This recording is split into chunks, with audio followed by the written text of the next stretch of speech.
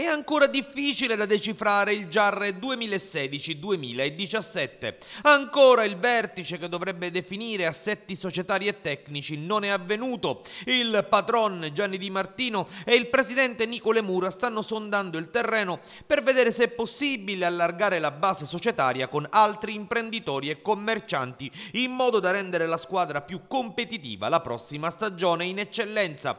Aspetta segnali in questo senso il direttore sportivo riconfermatissimo Pasquale Sanseverino, che a propria volta spinge per la permanenza sulla panchina gialloblu di Carmelo Mancuso. Tutta la dirigenza considera Mancuso un maestro di calcio di cui non ci si vorrebbe privare anche perché in proiezione futura i giovani, specie quelli del territorio ionico, dovranno avere un ruolo fondamentale nel progetto gialloblu e per questo serve una guida d'esperienza come Mancuso che li possa far crescere e maturare.